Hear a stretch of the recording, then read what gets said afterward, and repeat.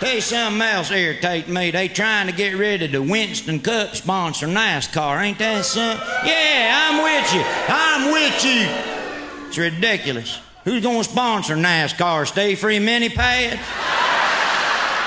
That'd be, well, we got 43 cars in the Kotex Cup this year. There's Jeff Gordon and the number 24 Strawberry Deuce Chevy Monte Carlo coming out turn four out there.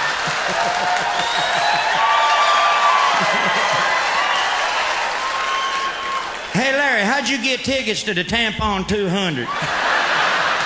well, we pulled some strings and we got some tickets.